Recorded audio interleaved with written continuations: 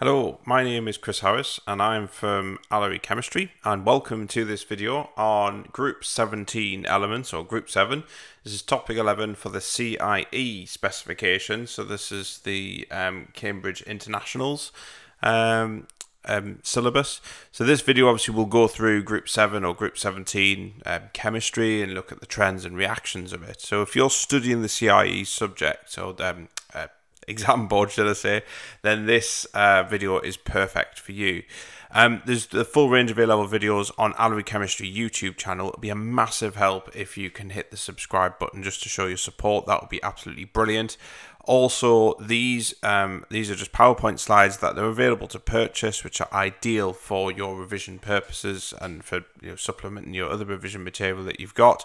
If you click on the link in the description box below, it will take you to the right place where you can where you can get a hold of them. Right, so let's make a start then. Let's look at see what um, Group 17 has to offer. So this is obviously part of the um, inorganic um, chemistry topic for year one. Obviously, that is there is an inorganic for year two as well. So this looks obviously at the year one stuff um, or the AS stuff. And with regards to the PowerPoints that are available to purchase, I have kind of grouped them together in as an inorganic package anyway. So you can have a look anyway. So let's have a look at halogens. So um, halogens um, make up Group 7, or also known as Group 17. I'll probably just call it Group 7 from now on. Um, they make up Group 7 of the periodic table. So um, the first one is fluorine, that's right at the top of Group 7 in the periodic table, and this is a pale yellow gas, and it has the electron configuration of 1s2, 2s2, 2p5. And the next one down is chlorine, which has a lovely green gas. Uh, bromine is a browny orange liquid at room temperature and pressure, and iodine is a grey solid. So these are your kind of main um, elements within um, the halogen group. Now, as we go down the group, the boiling points increase as we go down the group, and this is because we have um, an increase in van der Waals forces. You may also see it as London forces, but it's exactly the same. They just give it two different names. So let's say van der Waals. So this is because there's van der Waals forces increases due to the increasing size of the relative mass of the atoms. So that increases.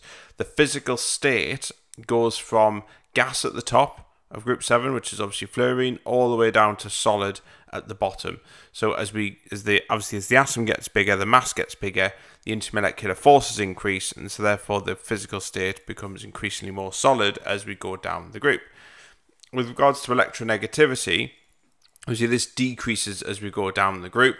Um, so, electronegativity is the ability for an atom to attract electrons towards itself in a covalent bond. If you can remember that, that's from the bonding topic that you will have seen earlier.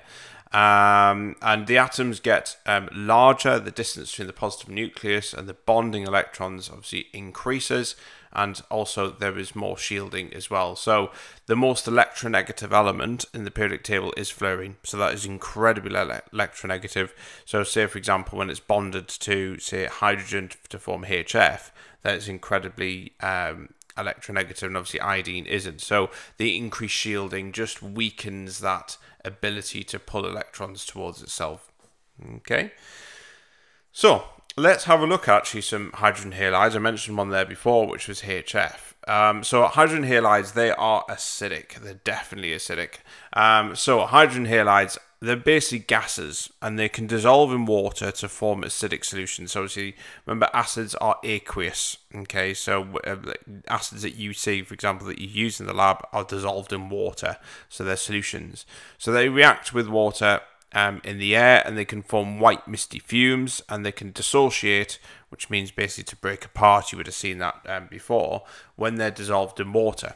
So, let's have a look at these equations here. So, we've got HCl which is a gas, um, hydrogen chloride gas, um, and that can dissociate in um, in contact with any moisture or water to form H plus ions and Cl minus ions. And remember, it's these ions here that um, that are effectively acidic. In reality, though, Um, H plus, what makes something acidic is hydroxonium ions, which are H3 or plus. That again, you would have seen this in a previous topic when we looked at acids and bases. So it's this bit that makes it acidic. So basically, HCl, hydrogen chloride gas, because there's water vapor in the atmosphere, it reacts with the water vapor to form white misty fumes, and that is really nasty stuff. You definitely don't want to be breathing that in.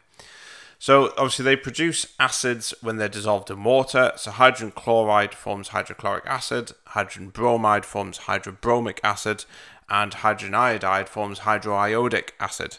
So you've got all these different types of acids here. So fairly straightforward.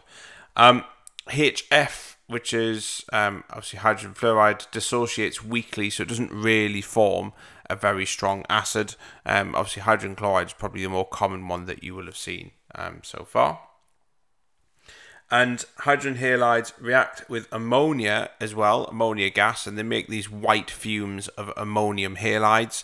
So, for example, ammonia and HCl, so um, obviously hydrogen chloride gas, will form ammonium chloride, um, which gives you that white misty fumes that's been formed. So, again, this is a neutralization reaction when you react in ammonia with an acid.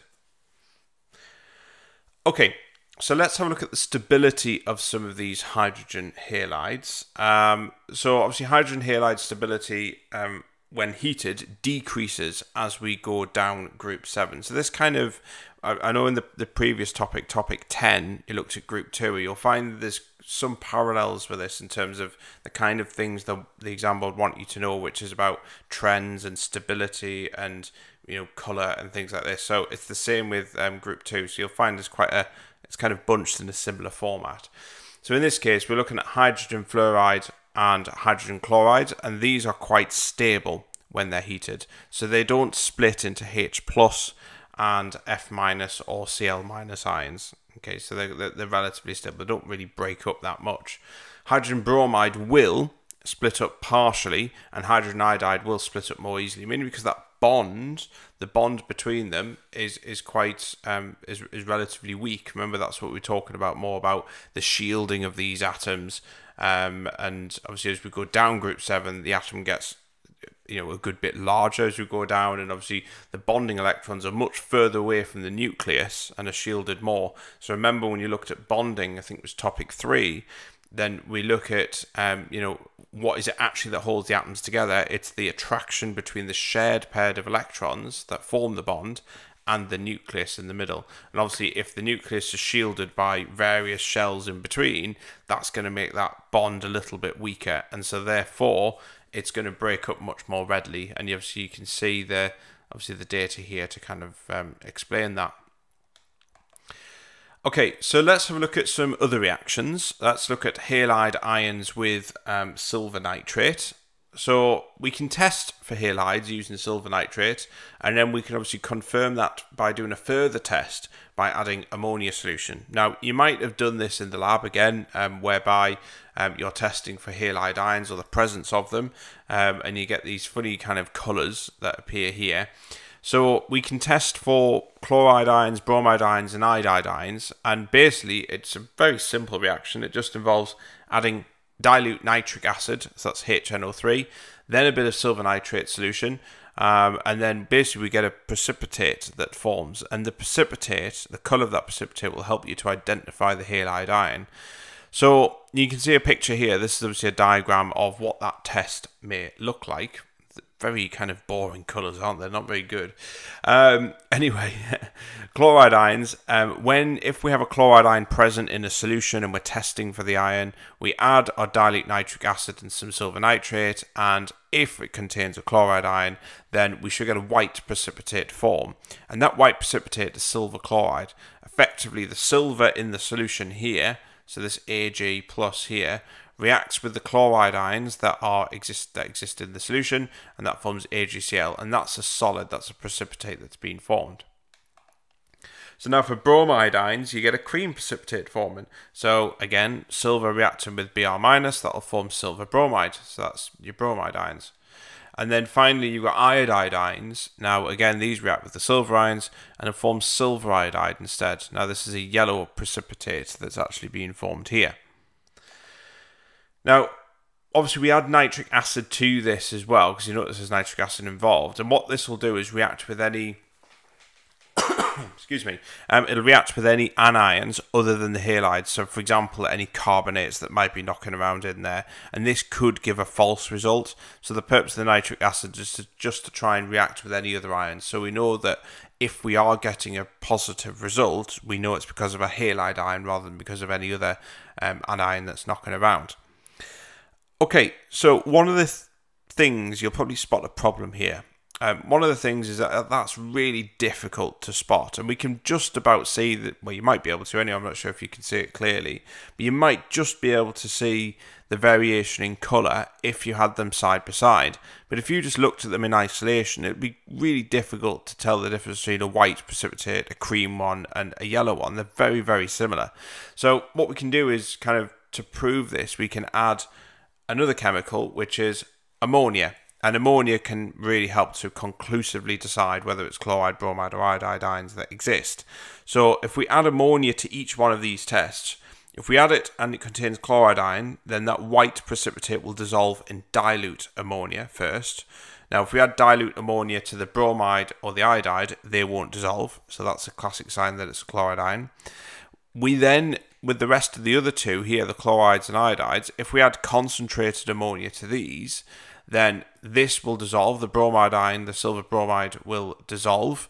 The iodide one is insoluble, so silver iodide won't dissolve in either dilute or concentrated ammonia.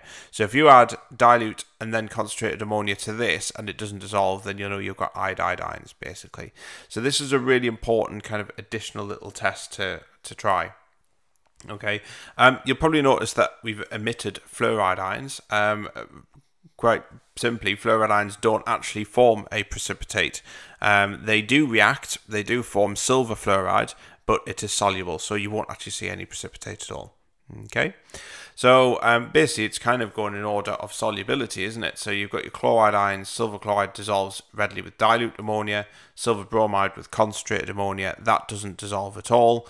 Um, and obviously AgF is obviously above fluoride is above chloride ions in the periodic table, so this is definitely soluble. You don't you need to add any ammonia to get that to go. Okay, so let's have a look at some displacement reactions and it wouldn't be halogens without looking at some of these to be honest. So um, if we add hexane, which you'll see later on in um, in the um, I can't remember which topic it is now. So I think it's topic thirteen. I think yes, it is topic thirteen, which is the introduction to organic chemistry. So AS organic chemistry. Then you'll come across um, hydrocarbons, and you might have seen some of these anyway at GCSE. But anyway, um, we can add hexane to any one of these reactions, and it'll be easier to observe these color changes. So, when undertaking halogen displacement reactions, we can add an organic solvent like hexane to see the color change really easily. Okay, so the reactions we've just seen there were um, uh, the reactions we've seen there were uh, displacement reactions. We were swapping them around. So the halogen present will dissolve readily in the organic solvent, which forms a layer above the aqueous layer, and a coloured band will appear. So, for example, if we have our aqueous here, you've got your aqueous layer here. Okay, uh, and then we've got our organic layer, and our organic solvent is hex is hexane, which is on the top layer here. So let's have a look at some displacement reactions. Okay, so these are quite common reactions, and obviously we can use that hexane to help identify some of these color changes here, and it makes it a little bit more pronounced. So the idea is, or the concept is, more reactive halogens will displace less reactive halide ions. Okay, and obviously using hexane uh, adding hexane to this will allow us to see these color changes that we're going to see on here a little bit clearer. So the reactivity of halogens um, decreases um, as we go down group 7. So as, we, as we've seen before. Um, so for a reaction to occur, an electron is gained. So atoms with a smaller atomic radius um, attract electrons much more readily than larger ones. So if you think about chlorine, uh, sorry, fluorine, let's, say fluorine, right at the top of that periodic table. Fluorine is a very small atom, not much shielding, and so remember group 7s will want to accept an electron to try and get a full outer shell, which is a little bit more stable. So fluorine is going to be much more readily, it was going to be more able to accept that electron because it's got less shielding, so the attractive forces are stronger. But as we go down the group and we get towards, say, so we go chlorine, then bromine, and iodine at the bottom, iodine's much a much bigger atom. There's a lot more shielding, and so therefore its ability to, to take an electron is not as powerful. So that's where that comes from. So halogens are less oxidizing as we go down the group, um, and we can show this by reacting halogens with halide ions. Okay, and we'll look at a bit more of oxidizing oxidizing reactions as well. But a halogen will displace a halide from solution if the halide is lower in the periodic table. Okay, so we're talking about reactivity here. So remember, the most reactive is at the top of group 7, the least reactive elements are at the bottom. So let's have a look at some examples. So we've got chlorine, um, so chlorine water, so Cl2, reacting with potassium chloride. Now, both are just as reactive as each other, so there is no reaction. Um, so basically, um, in terms of the aqueous solution that we'd seen before, remember we had your hexane and the aqueous solution. The aqueous solution will be colourless and the organic solution will be colourless as well. Okay, so if we take chlorine and react with potassium bromide, now here we will get a change because chlorine is more reactive than bromine. It is higher up in the periodic table, so we will get a, a displacement reaction.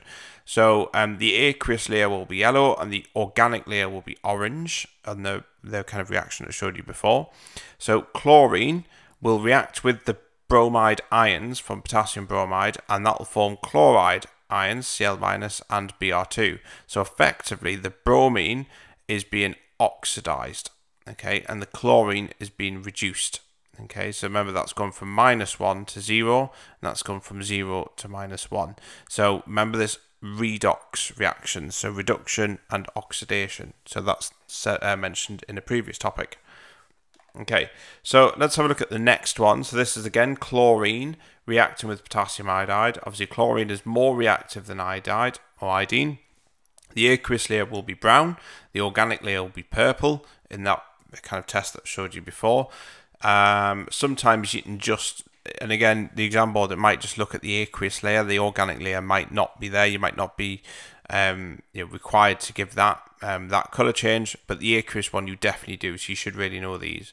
Um, chlorine reacts with iodide ions to form Cl minus and I2. Now iodine um, obviously it's a brownie colour. You form this brown solution here that's been formed. And again, iodide is being oxidized to iodine and chlorine is being reduced to chloride ions. So there's a displacement reaction. Okay, so let's have a look at the next one. Addition of bromine water to KCl. Um, Cl minus or Cl is more reactive than bromine, so you get no displacement. Obviously, bromine and bromine, they are just as reactive as each other, so there's no reaction there. But with the final one, there will be a reaction because bromine is more reactive than iodide ions. So therefore, we do get a displacement reaction, and the bromine, which we started with here, will react with the iodide ions to form Br minus and I2. So you get iodine that's been formed here, and obviously you get that brown solution as well. And finally, the last ones, iodine reacting with KCl. Obviously, iodine is less reactive than KCl, so we get no reaction. It's also less reactive than bromine. And obviously, the final one, iodine and iodide, sorry, and iodine are equally as reactive, so you get no reaction there. So this is what we call obviously a displacement reaction. So this is where we get the obviously the exchange of of um, uh, halogens or the, the kind of displacement of halogens depending on their reactivity. You might have seen this GCSE possibly, so this is just adding a little bit extra to it. And this is your kind of equations for it. Okay, so there we are. Okay, so if we look at some uh, halogen ions, let's have a look at a little bit more. So most halogens have different oxidation states. Okay, so they don't just have one. So let's have a look at some examples here. So let's say we've got uh, the iron, which is Cl minus or Br minus, for example. So these will have um, a, a, an oxidation state of minus one, as you can see on there. Um, there we are. Okay, um, chlorine. Um, so Cl or Br on its own as an oxidation state of zero. Remember, if it's an element, it'll be zero. Chlorate ion, ClO minus, is plus one. Okay, because oxygen um, in this case is uh, is is minus two, but it's obviously going to overall have that negative uh, that negative charge. That's plus one. Uh, bromate is plus one, so bromine and O minus. Again, a lot of these, and you'll see bromate three, iodide five, and iodate um, iodate seven. Um, these you need to be able to know these and if you're not sure you need to look back at topic 6 which looks at oxidation states. So you can work these out using the rules that's in topic 6 so if you're looking at this thing and I don't really know what all this means go back to topic 6 have a look at the how these are worked out and look at the rules and then come back to these and then you'll see them. So there's nothing really new here. This is just looking at in context of halogen ions um, fluorine only forms oxidation states of zero, obviously if it's an element, or minus one if it's F, for example, if it's in a compound, um, and they can't form any positive oxidation states at all um, fluorine, obviously apart from zero. Okay, so just make sure you're aware of that. Obviously, you get these different types of reagents here. Okay, so um, let's have a look at some of these funny reactions. Now, I kind of mentioned some of these, I think, in a previous topic as well, but very briefly. So, this is where we kind of go through it in a little bit more detail. So, this is called, again, this was in topic six, I think, um, disproportionation reactions. So, this is in relation in particular to halogens. So, halogens react with cold alkalis in disproportionation reactions. So they've got to be cold alkalis. So here we are. So we've got X2, and X will represent a halogen. You know, could be any halogen. React that with sodium hydroxide, and we form your um, your sodium um, with your chlorate. So it might be, a chlorate, for example, it might be a CLA, a bromate, or anything like that. You form your sodium halide here, and you form water as well. Okay. Now, a disproportionation, there's your kind of ionic equation as well. So remember with the ionic equations, you've obviously got hydroxides, you remove the spectator ions, which in this case will be sodium, and you just concentrate on the ions which matter. So a disproportionation reaction is where we have a simultaneous reduction and oxidation process of the same element. So in this case, we're going to look at halogens. So the halogen here starts off with an oxidation state of zero because it's an element. Um, and then here, uh, the halogen here has obviously um, um, been oxidized. So it's gone from um, zero to plus one here because it's bonded with an oxygen, so it must be plus one. Um, but it's also been reduced here because it's gone to minus one at this point here. So this has obviously been simultaneously oxidized and reduced. So let's have a look at an example here. So bromine reacting with sodium hydroxide will form sodium bromate, which is NaOBr. Sodium sodium bromide and water. So this is a, a, an example of a disproportionation, but it's basically where the halogen here is simultaneously oxidized and reduced. So it's come from that same halogen there. Okay. Right, so halogens, they can react in hot alkalis as well in disproportionation reactions. So let's have a look. So again, X represents your halogen, um, and that will obviously react with sodium hydroxide, as you can see there, and it'll form um, your your halide compounds, as you can see. There's our ionic equation, and again, there's our um, reactions there. So we've got zero, obviously there, that goes to plus five in this case. So remember these reactions here, uh, and that's minus 1 at this point. So you can see it's been simultaneously oxidized and reduced. So obviously forming a different substance within hot alkalis. So a classic example um, is forming sodium chlorate 5 solution, which is this here. Um, and obviously this shows the overall reaction using chlorine instead. Okay, so this is where we're now going to look at halide ions separately. So we've looked at halogens mainly, and we've looked at the reactions of halogens and using sodium hydroxide. We've looked at displacement reactions um, as well. So this is where we're now just going to focus on halide ions and say, right, well, how can these kind of be used? So halide ions, um, so these um, lose an electron in reactions. Okay, so obviously they have the extra electron already, but they lose an electron in reactions, so they are effectively reducing agents. Again, these terms are in topic six. If you're unsure of this, please go back to topic six and have a look at that.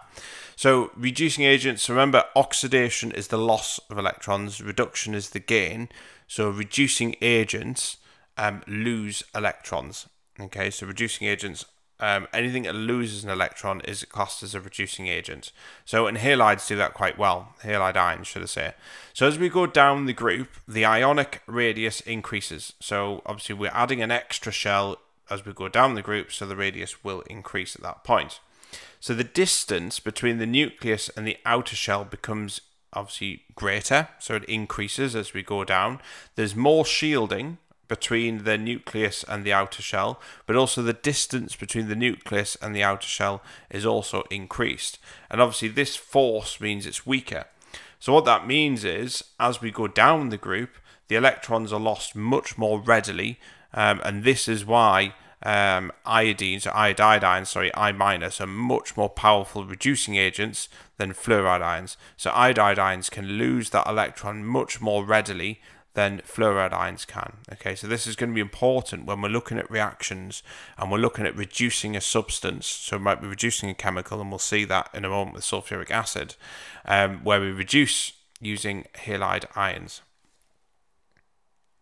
Okay, so there's two tests to prove this, as I mentioned before. Um, so we've got um, the reaction with sulfuric acid. Um, so we can see, we can have a look at that um, in a moment, and then the reaction with silver nitrate solution as well. And in fact, we've seen the silver nitrate solution reaction already, um, and obviously we've, we've seen that with um, the, the, the white, the cream, and the yellow precipitate before. We know kind of how to test for that, and then adding ammonia to see which one dissolves. The next slide we're going to look at here is going to be um, a similar reaction, so it's a way in which we can prove this, but using sulfuric acid. Now this reaction is going to be quite, um, this is going to be quite tricky, this bit, so hope you're following. Some of the equations look really technical as well. They're not really. Um, effectively, you need to know how to form a half equation of your own. And again, that's going back to topic six. There's a big emphasis with topic six for this link, the link between topic six and this. Um, but going back there will show you how to write these half equations and just ensure that you're writing them correctly. And if you don't know how to do that, please go back and look at this because I'm going to flash up some half equations here and you're going to think, oh my God, do I have to know all of them equations? The answer is yes, but you can kind of form them yourself. You can kind of work them out, work them out yourself. Okay, so this is where we're going to have, um, I suppose, reacting halide ions with sulfuric acid. And some halide ions, they can reduce sulfuric acid. Now, this is a very nasty um, reaction. There's some really horrible products being produced here. So you probably wouldn't do this in a lab. It's probably unlikely. So it's going to be quite difficult for you to kind of visualize this, but we'll try. So I'm going to do this as a bit of a um, a bit of a diagram, I suppose, to try and illustrate this because I think there's a lot of reactions here, and I think if we kind of spell out as a diagram, it makes it a bit easier.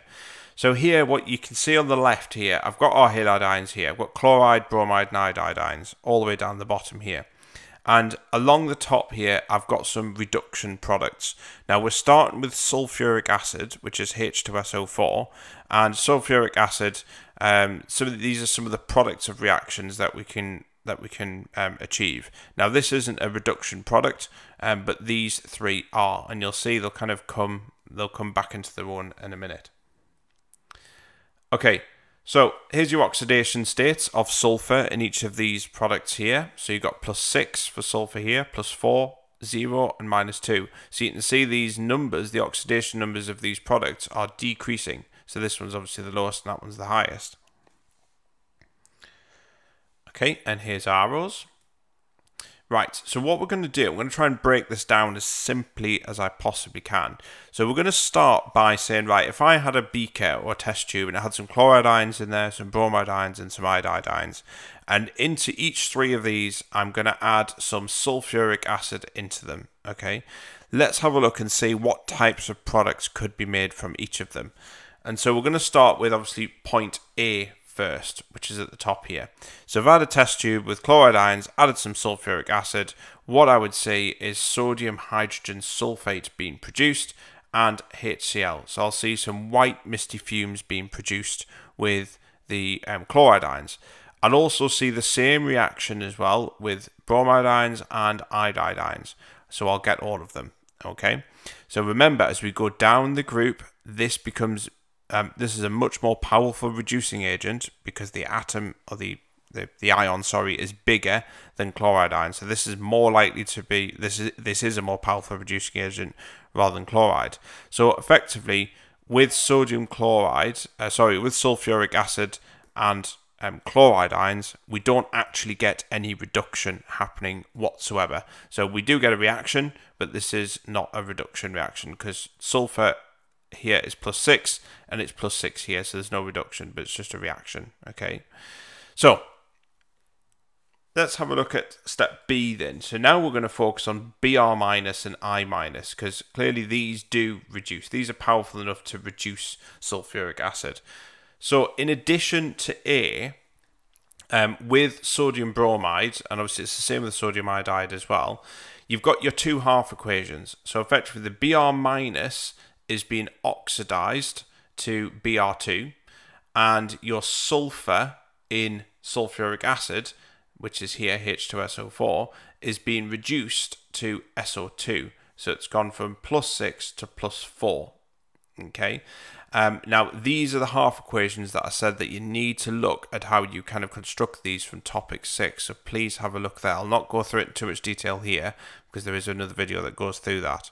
And obviously, if we cancel out these electrons, we get an overall ionic equation of what's happening here. So sulfuric acid um, reacting with Br minus will form Br2, so we get bromine vapor being produced, sulfur dioxide, and um, water. Now, sulfur dioxide is acidic, so that's not very good, and this isn't really good for you either. So, really, not very nasty products being uh, nasty products being produced here. Okay, so let's go a little bit further and let's look at iodide. So iodide is more powerful reducing agent, so it can actually reduce even further. So it can go even further. So at point C, so in addition to A and B, then with sodium iodide, we actually get iodide ions being oxidized to form I2. Okay, um, and then the sulfuric acid gets reduced to form sulfur. Okay, so you get sulfur that's been formed here. So that's more reduced than sulfur dioxide, so that's further reduced. So the overall equation is this here. Now, what you notice is you get iodine, you'll see iodine being formed, so you might see some vapor, like a purple vapor, but you'll get a yellow solid being produced, and this is sulfur, and that stinks of rotten eggs, so it doesn't have a very nice smell whatsoever. But it doesn't stop there. Iodide ions are really are that powerful as a reducing agent. They reduce sulfur even further, and this is point D here, and they actually form um, another compound which is called um, hydrogen sulfide H2S, and this is a rotten egg smell and it's toxic. It's a nerve agent. Um, it's also known as sewer gas. So you really, this isn't very pleasant whatsoever, as you can imagine. But the reaction again, sulfuric acid reacting with iodide ions will form iodine and H2S as well. Okay, so basically this is just showing you the power of reducing agents. So iodide is the most powerful reducing agent and it reduces sulfuric acid to SO2, S and H2S. So you get all three of these plus all of them will produce sodium sodium hydrogen sulfate as well. This is not a reduction product, but this is just a product of reaction. Okay. So, hopefully that makes sense, okay? Because this can be quite tricky, but again, I urge you to look back at topic six if you're not comfortable with how we form these reactions here. Okay, so let's have a look at bleach. Okay, so after all that smelliness and rotten egg smell, let's get something that's a little bit cleaner, shall we? Um, now, we've seen some reactions already with disproportionation reactions where we react them with sodium hydroxide and we get your disproportionation reactions formed. Bleach is actually a product of disproportionation. So if we mix chlorine and sodium hydroxide, we will form sodium chlorate 1 solution, and that's known as bleach quite simply. So here's the reaction. So you've got sodium hydroxide reacting with chlorine gas. That'll form your sodium chlorate solution, which is there. Sodium chloride and water is being produced. So this has an oxidation state of zero, okay, because it's an element.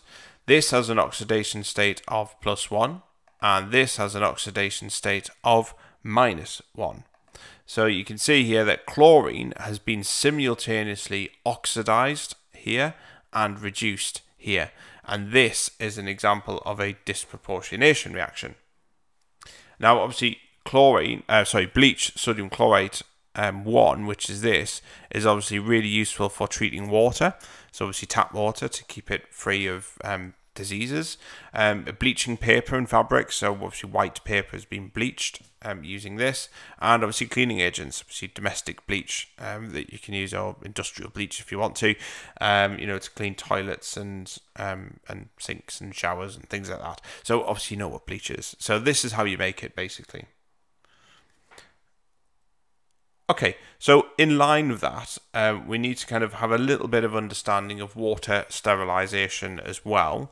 Um, now, obviously, bleach is used to sterilize water, as we've seen before, um, and it's used to obviously kill bacteria. So, if we add water to chlorine, it'll produce chlorate ions, which are Cl minus, ClO minus ions, and these will kill the bacteria. And obviously, they're useful in drinking water and swimming pools as well, obviously to a higher concentration, of course. So here you can see you've got um, chlorine has obviously been simultaneously oxidized and reduced here. So um, you've got this has obviously got an oxidation state of zero, so that should be pointing to there, and that's minus one, and that's plus one. So this is basically showing you what the reaction is when we add chlorine to water and we form these products here. So it's that under very dilute solutions that can be added into tap water mainly fluoride based as well. You know, we had fluoride based compounds to be honest, um, but also mainly in swimming pools. So this is used a lot in swimming pools as you would expect. Um, and then chloric 1 acid, so that's ClO minus, ionizes, okay, to um, to make the chlorate ions, which is the hypochlorite ions. So this HClO that's produced here this reacts with more water to form ClO minus ions and H3O plus. You've got to be careful with this. This, remember, is what makes it acidic. So um, you've got to be really careful with what's being produced here. And because obviously if you go into pool water it is slightly acidic but because there's such a vast amount of water in there it heavily dilutes it down but obviously um, chlorine in swimming pools can irritate the eye because of um, obviously irritation from these chemicals here. But because they're so dilute, um, it doesn't actually um, you know pose too many problems, which is thankful. But there's enough in there to kill off um, you know the vast majority of bacteria, which is what you want because you don't want to be swimming around with other people's bacteria, do you? So, um, looking at the, I suppose, the kind of final use of um, halogen based compounds, and one of them is PVC, um, polyvinyl chloride, and it's used everywhere around the home. So, PVC is just a polymer, and you'll see this later on, obviously, in year two, which contains chlorine. It has um, tough properties which make it ideal around the home. Okay, so obviously Let's have a look at some of these ideas here. So um, you can see you've got a halogen here. There's your chlorine, um, and it's in a. You'll see a little bit more of this, to be honest, in, in the the polymerization topic later on in year one and in year two. Um, but this is just to give you an idea. This is a halogen attached to a um, hydrocarbon, as you can see here. Now it's what we call a repeat unit. So basically, this repeats multiple times in a chain to form a polymer, and this polymer is obviously called PVC. So it's used in electrical coverings because it's it's really resistant to electricity just as well. You don't want to touch one of them switches and it's going to, um, you know, it's, it's going to electrocute you. It's the last thing you want. Um, but also, it's hard wearing, um, and it's obviously ideal to make in window frames as well. So halogens are kind of mixed with other substances to form these products. Um, but also, it's got good heat stability as well, which makes it ideal for outdoor use like guttering, plumbing pipes, etc. So these might carry hot water, or they may be exposed to the high heat, like we've had over the past, um, I suppose, over the past month, we've had some extreme heat, haven't we, in in the UK? Um, well, everywhere to be honest. But obviously, I, I live in the UK, so that's um, that's why I mentioned that. But you need these plastics to try and be resistant to that. So um, PVC is pretty good for that as well. So that's it. So that's everything to do with Group 7 or Group 17. Um, like I say, there is a full range of CIE A-level videos on Allery Chemistry YouTube channel. Please subscribe to the channel and show your support. That'll be fantastic.